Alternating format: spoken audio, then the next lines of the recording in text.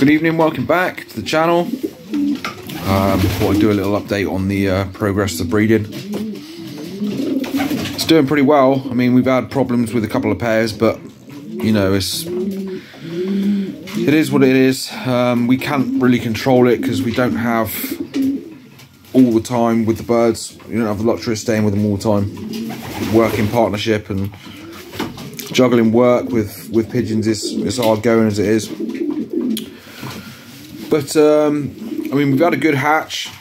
Um, we had a couple of eggs that didn't hatch, but you know, a pretty good ratio to youngsters. Um, so we have about 20 youngsters in here, so you know, I haven't done really bad like that. Um, we're still keeping pen pen 8 and pen 12 they're still a bit dodgy so uh, we've got to keep an eye on them really. I mean what I'll do is right. That hen in there is barred up only because that cock there he loves to go in there and cause a ruckus. So I'll just let let him out a sec. I'll let her out. Or let open up the box. I just observe them for a bit. That's what I do normally when I come in from work. Father's normally done all the work here. Just need to be done, obviously, replenish the water, um, food, etc. So, uh, yeah, that cock there likes to go in bed box 8 and he likes to cause a ruckus. Like he did the other day, he didn't break the eggs because I replaced them with pot eggs. And I, and I just kept them underneath a pair that has two eggs or one baby and um, just basically let them sit on that egg for a couple of days while they sort themselves out. I came in after work one day and they were they were scrapping, quite bad. That cock there, the, the dark cock, he's full of vigor, always at it. He is. Um, uh, he was scrapping with pen 12. So pen 12 was in there. Obviously the eggs didn't smash because they're pot eggs. Um, so we've just decided to, to bar them up again. Um, so what we do is now they'll alternately be let out. So one day pen 8 will be, they're only sitting on eggs because they laid the first round, which is really, it's, it's a really strange story beyond this. They laid the first round. They laid two, they, she only laid one egg, which was weird. It was fertile, she was sitting on it and then she stopped sitting on it, which was really weird. And then and we noticed that the cock and hen were treading again. It's really strange, but we kept the egg put it under uh, pen two, their feeders. And um, then they went down on another round. Um, she laid two eggs and she's sitting on them. They're both they're, they're both fertile. They're due to hatch out next week. So um, obviously to to stop any chance of her eggs getting smashed or their eggs getting smashed, what we'll do is we'll bar them up for one day. They'll have obviously um, the hangover the the uh, the front drinker cups, and they'll have a full galley pot of food. A full galley pot normally holds around about eight ounces, um, so it's plenty and plenty enough for them to have food in there all day. And um, then the next day, pen twelve, they've got two babies. Um, they will have they'll be blocked in and then pen 8 will be let out all day. So they basically, we're just alternating them. So the only time that we actually have um, full control visually over them is weekends. So we can sit here and watch them, observe them, and um, see how they get on. But within an hour or so, they always end up scrapping. We've got to persevere with these two cocks. The, the hens we bred ourselves, um, the grandchildren of our principal pigeons. Um, but the hen, the cocks that we actually bought in this year or last year, um, so we got to persevere with them. We paid good money for them, so we obviously, you know, which is the really strange thing is they chose the boxes way before pairing up, and they were happy in them. But that cock just really wants to go in there and cause a ruck next door. He wants both boxes. You get some like that, which is, you know, it's not good. Um, so like he's gone into his, his own box now, but just you just to minimize or completely eradicate the risk of beating young ones and smashed eggs. So they'll be they'll be blocked in. and uh, they'll have a full galley pot, and the water will be replenished and the food will be replenished every day during the day if needs be. Um, as my dad, will, father will do it um, if he's here. Um, and yesterday we had a bit of an issue as well. Um, so we've rung most of them. Um, yesterday I just came in from work and had a look see if see if Dad's rung any more, Father's rung any more birds, and uh, I checked in box eleven, and uh, the young one was dead. He was dead, stiff as a board, scratches all over his back, um, cuts all over his back. So it obviously been trampled on. It was fresh because the young one the day out the day before was absolutely fine, feeding absolutely fine, nothing wrong with him. Excuse me. but the uh, the young one was obviously been uh, obviously been trampled on. Um, as I said, cuts all over its back, all over its head, dead. So um, yesterday I was in here for a good couple of hours. I had a late tea because because I, I wanted to find out who was the culprit. Um, so box 11 is a Hermacusta cock with Tutti Frutti. Tutti Frutti is a brass pen and hen. And next door to her in pen 7 is Tutti Frutti's daughter. Excuse me. Um, we bred her ourselves. She was a late bred. And uh, we've had her for a couple of years. But we decided, obviously, to you know give them a go give her a go in the in the in the race uh, in the stock loft. She's not given us any problems before. Absolutely fine, finding a box and navigating away to a box with a cock. The cock's been in there for since he was beat since he's been here, so 2018. No trouble with the cockbird. So I just watched and see what was happening.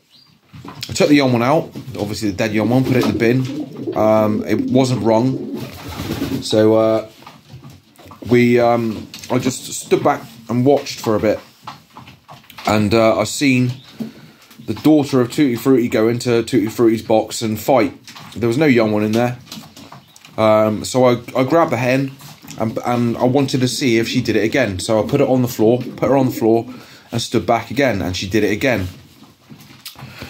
So uh, she's got young ones also in pen in, in pen seven. She's got young ones in there. So today, all day, she's been barred up with a cock. She's been barred up. She's had food, obviously, access to food and water for her babies. Um, and there's been no problem in pen uh, 11 because what we've done is, um, because we want young ones around about the same age, we just basically let her foster. Obviously, she's carrying crop milk as well from the baby that died, um, but got trampled on. So we fostered a baby underneath her so she wouldn't have to go down on another round so we can have babies all around the same age. Um, so that's that.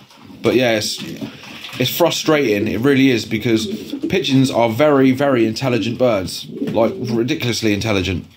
I've seen programs where pigeons will um, like you get the toddler toys where they have to put a triangle in a triangle box and stuff like that. Pigeons can actually do that and you know pick make out shapes and you know they're intelligent. They fly from hundreds and hundreds of miles, um, fly back home, blah blah blah. But they'll fly into the wrong box from two yards away, which is it's just strange. It really is.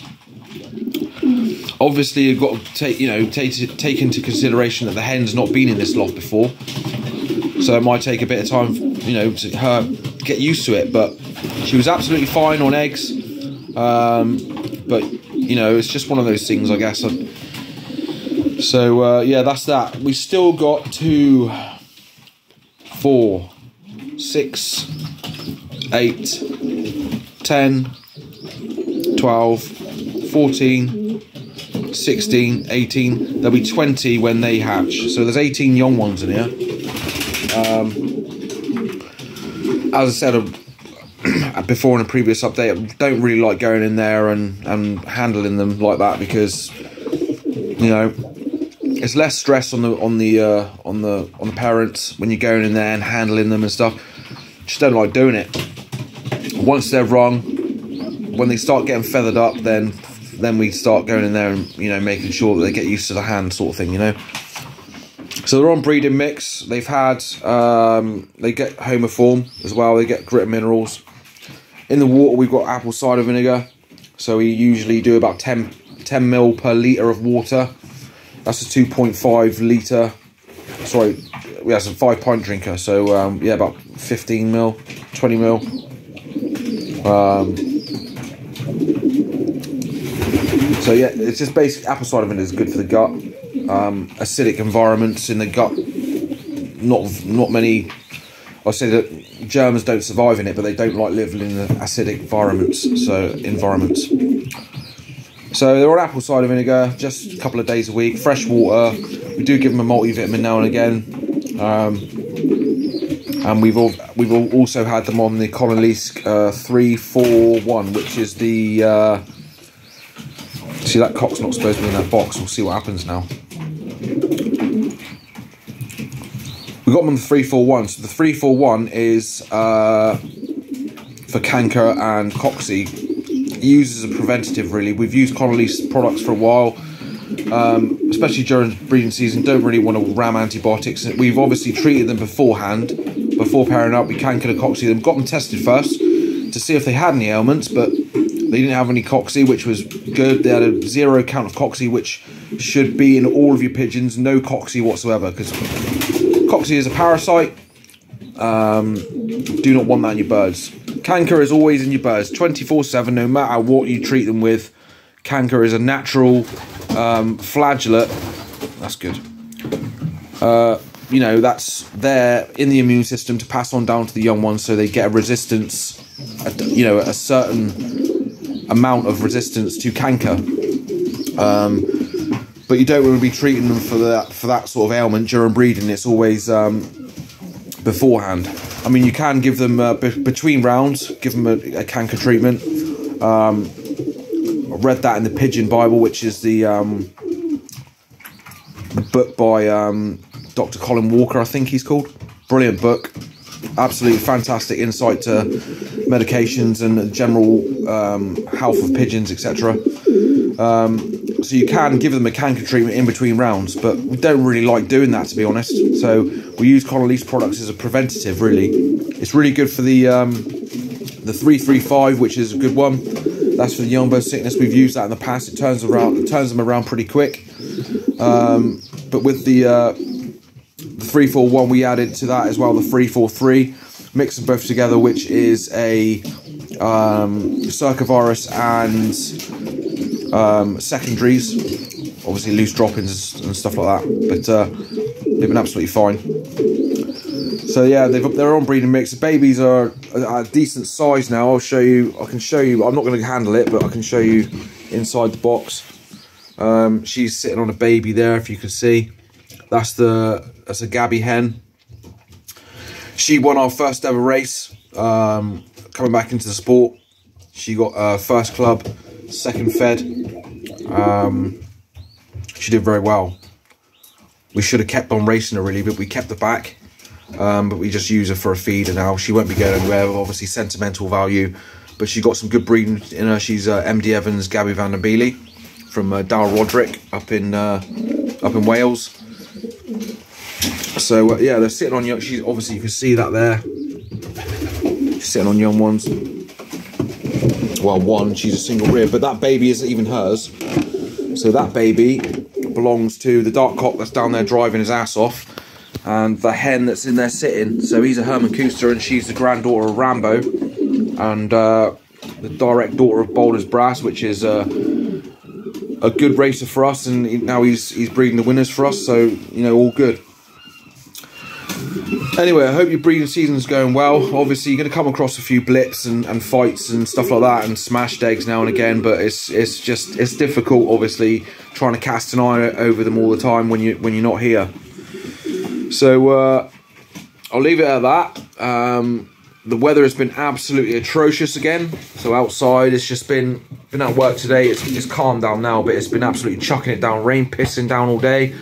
Um, can't get the birds out in the rain, like pissing down rain. It's all right with fine rain, but when it's pissing down, you can't do nothing with them. Um, and it's been going on for weeks now. It's just it's just horrendous and sick and fed up of it now. All of us are, all all pigeon fanciers. Um, and obviously working in it is no good either. So uh, anyway, I'll let you guys go. Um, see you on the next update. Um, take care of yourselves, and most of all, say every update. Enjoy your birds, guys. Cheers.